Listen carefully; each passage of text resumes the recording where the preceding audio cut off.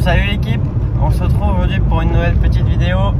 Cette vidéo consiste euh, sur la 50 parce que ça fait deux ans que je l'ai fini mais je l'ai pas vraiment fini. En gros le jour où je l'ai emmené en peinture, j'ai pété la jante avant et j'ai jamais, euh, j'avais racheté une jante sauf que je l'avais jamais ramené en, peinture parce que bah, y a plein le temps de route. Donc je m'étais dit le jour où j'ai l'occasion de ramener un truc là-bas en peinture, et bah j'emmènerai en peinture et c'est fait. Donc j'ai repeint la deuxième jante donc là, aujourd'hui, on se retrouve. Euh, je démonte le pneu pour le remonter sur la nouvelle jante. Bien sûr, ça fait deux mois que je l'ai laissé. Ça fait deux mois que j'ai démonté les roulements, donc j'ai perdu les roulements de la jante. Donc j'espère que ma jante actuelle qui est cassée, c'est les mêmes roulements, le même diamètre extérieur. Sur l'intérieur, ce sera le même, c'est obligé, c'est l'axe de roue, pardon pour euh, comment ça bouge. Donc euh, voilà, j'espère que cette vidéo va vous plaire, c'est sur la 50 et si tout se passe bien, normalement on fait vraiment une bonne dinguerie avec la 50. Donc euh, voilà, mais vu le temps, c'est pas sûr. Hein. Alors bouge pas. Donc, euh... Donc voilà, j'espère que ça va vous plaire. Et puis, bah c'est parti. Bah, comme dit, j'ai changé le pneu de la jante. Donc euh, sur la nouvelle jante, c'est exactement la même. Hein. Donc euh, ce soir, pour ceux qui vont suivre, je vais être en live sur YouTube hein, pour remettre disque et remettre tous les couvrillons sur l'autre jante.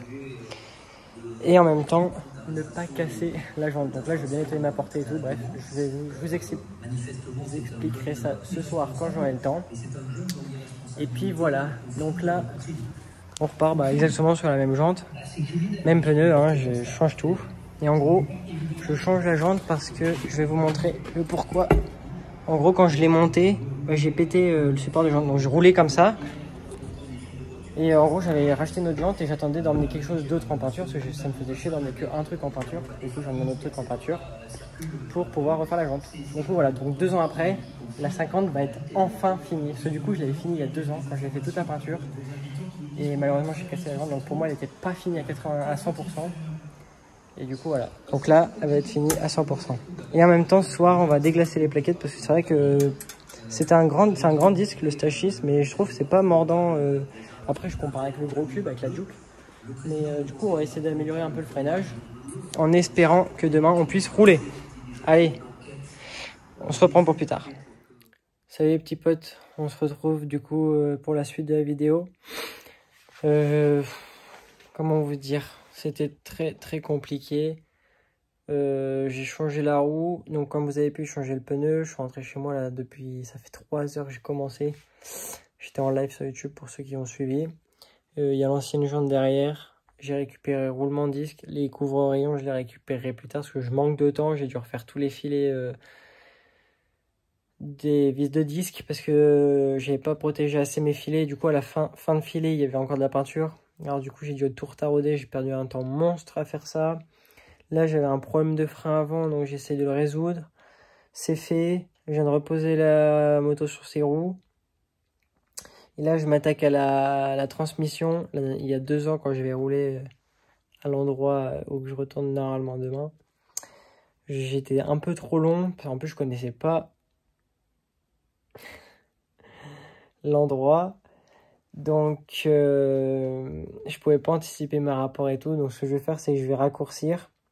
Parce que je crois dans la ligne droite, euh, j'ai dû mettre, euh, elle est peut-être bien la 4, je crois. Elle est peut-être la 5, mais j'ai pas pu tirer. Donc, je peux gagner sur la transmission et qui fait un peu plus. du coup, voilà. elle est là.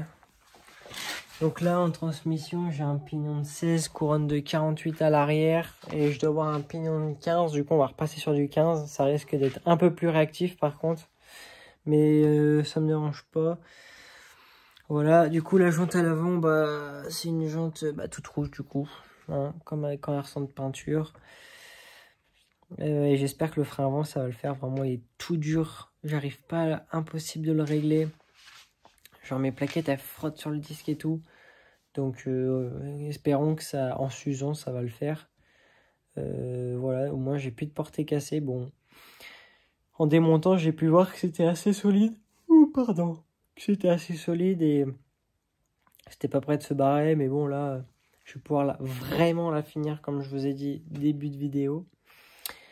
Euh, qu'est-ce que je veux dire? Là, je vais la mettre en, je vais mettre la batterie en charge pour la sonde de température, parce que la batterie, ça fait deux ans et demi, trois ans qu'elle, je l'ai pas mise en charge. J'espère qu'elle est encore bonne. Je pense pas, mais bon, ça j'ai fait un peu le con. Il aurait fallu que j'y fasse une vidange de boîte, pareil, ça aurait été bien. Je peux, j'ai pas pris le temps. Vraiment, je me suis anticipé vraiment la dernière minute parce que je pensais pas récupérer ma jante euh, là, là. Donc voilà.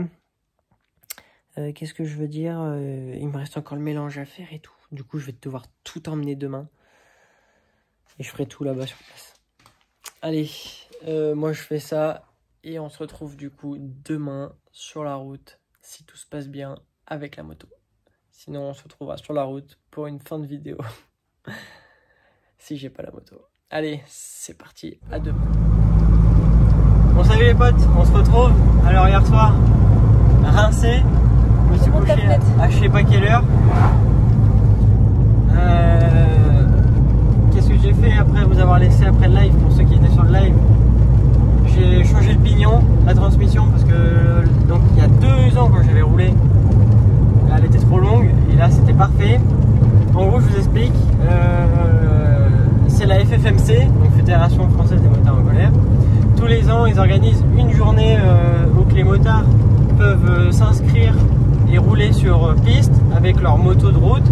Et pour pouvoir s'initier, accélérer un peu en toute liberté, pencher en sécurité, etc., etc. Et en gros, le midi, ils laissent rouler les, les cyclos moteurs, donc 50 50 cc, euh, mobilette, tout ce que tu veux quoi.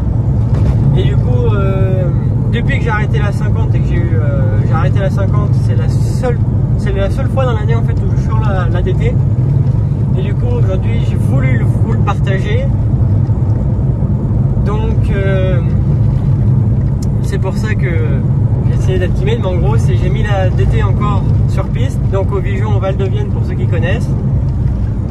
Du coup voilà, donc là c'est parti, on y va et je vous retrouve euh, après là-bas.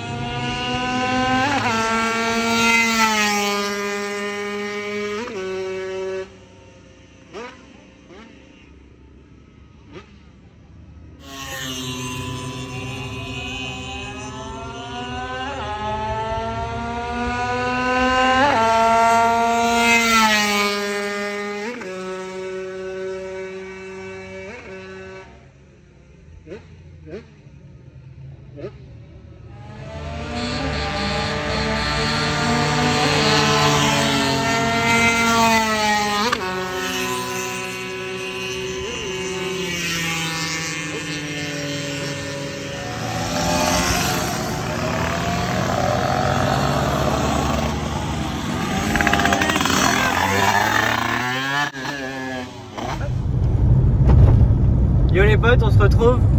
Donc là, on est sur le chemin du retour. Bon, comme vous avez pu voir les vidéos précédentes, euh, j'ai pas pu filmer avec grand regret car on n'avait pas le droit de mettre de GoPro sur la piste. Donc euh, ça sera des plans euh, bah, extérieurs que je vais essayer de récolter. Voilà, donc je sais que j'en ai, mais je vais essayer d'en récolter plus. du coup, toute la matinée, il a fait que de pleuvoir. On était vraiment pas sûr de rouler. Et euh, vraiment à notre moment ça s'est dégagé. Donc euh, sachant que bah, la détail est en slick, jusqu'à là tout va bien. Faut juste pas mettre trop d'angle et tout. Et j'ai un gros problème sur le frein avant. J'ai dû retirer mon levier de frein parce pour pas le pour pas freiner parce que si je freine, en gros ça, ça freine et ça reste freiné. En gros mes, mes pistons ne sont pas repoussés. Donc à voir si c'est pas une plaquette qui bloque ou faut que je démonte et on va tout regarder. On va essayer de voir si ma jante est bien centrée dans l'étrier parce que vu que j'ai changé de jante, c'est, normalement c'est la même, mais euh, il y a peut-être euh, un petit peu de décalage. Donc on se refera ça tous en vidéo, ça, ça nous fera un petit sujet où on fera de la mécanique. Du coup voilà, donc euh, je suis désolé de ne pas vous avoir fait de vue embarquée. vraiment vous faire une vue embarquée avec le point GPS pour donner une ordre d'idée à peu près de vitesse que on prend parce que je ne sais pas combien prend cette, euh, moto, sachant que j'ai réduit la transmission. Donc euh, voilà, euh, j'espère que cette vidéo vous aura plu, même si elle a été très courte du coup et pas comme je veux. Mais hop là, doucement le petit donne là, parce que entre la Golf, ça c'est la première, entre la Golf et la remorque derrière, on va doucement, et surtout avec la lame, surtout sur la Golf, ça frotte à rien. Du coup voilà. Euh, bah, dites-moi dans les commentaires si ça vous a plu et si vous voulez une suite sur le frein avant de la DT. Et puis, euh, bah, c'est tout. J'espère que vous aurez kiffé, même si c'était pas vraiment comme je l'aurais espéré. Mais bon, j'ai pu bien rouler. La moto s'est très bien comportée. Il faut se dire que ça fait un mois que je l'ai démarré, mais juste démarré comme ça. Ça faisait un an qu'elle n'avait pas démarré. Et elle a roulé au top. Bon, au début, elle a vraiment fumé pendant deux tours. Pour ceux qui connaissent le Bijan, hein, euh, voient à peu près la distance euh, du, circuit. Enfin, le, ouais, le, voilà. Et euh, elle a fumé pendant deux tours parce que je pense que il restait un peu d'huile et d'essence au fond. Parce que l'autre jour, quand j'ai démarré, j'ai mis vraiment beaucoup d'huile. Et le pot aussi, la, cartouche, tout était bien rempli et imbibé ça s'est bien libéré. Hier soir, j'ai chauffé la cartouche pour essayer d'évaporer un maximum l'humidité qui était dedans. Parce que l'hiver, elle prend beaucoup d'humidité. pardon. Euh, donc voilà. Donc ça fait vraiment plaisir de la rouler. Ça fait très bizarre de repasser euh, sur la DT après la Duke. Ah bah il n'y a rien en bas, mais en haut par contre, euh, qu'est-ce que ça marche? Ça lève tout seul, c'est drôle. Donc sûr qu'on n'a pas le droit de lever. Hein. donc j'ai pas levé. Juste à la fin parce que j'ai pas fait exprès. Si pareil la DT elle est en boîte à inverser, oh, je fais deux tours, au deuxième tour, j'accélère, je veux pour pouvoir passer à la vitesse, je le relève. Alors autant dire que j'ai fait un sur-régime, ça a bloqué la roue arrière et tout. Heureusement que la piste était mouillée, comme ça la roue elle a glissé dessus et j'ai pas bloqué. sinon j'aurais pu péter, euh, faire un sur-régime, du coup exploser le broquin ou la bielle. Donc voilà, et j'étais pas à fond fond non plus, donc ça va, j'avais une toute petite marge d'erreur. Euh, bah c'est tout. Du coup, c'était pour vous dire que ça fait vraiment du bien de la rouler, même si c'est qu'une fois par an. C'est toujours plaisant et, euh, sinon, c'est une belle vitrine. Donc, sur ce, n'hésite pas à t'abonner, like et commente pour euh, savoir si ça t'intéresse pour le frein avant, comment on peut faire pour euh, faire les, les entretoises bien centrées et voir pourquoi ça reste bloqué. Ça pourrait peut-être en aider plus d'un. Et d'ailleurs, s'il y en a qui ont des idées, n'hésitez pas à me les mettre dans les commentaires, ça pourrait m'aider.